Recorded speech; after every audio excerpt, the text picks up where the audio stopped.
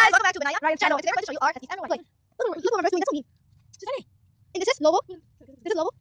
He's big. Look at right here. Oh, ready? Let's get. Ooh, it's just me myself now. So now I'm gonna This is hand for you, by the way. Yeah. And look, the feet, his hand, and what is the other hand? Oh, it's a frog. There eyes right there, there. And this is the another beak. You can call it yeah. And look. Okay, let's go to our watch. This is robot number one. This is the girl. Look at them, they're so cute. You okay?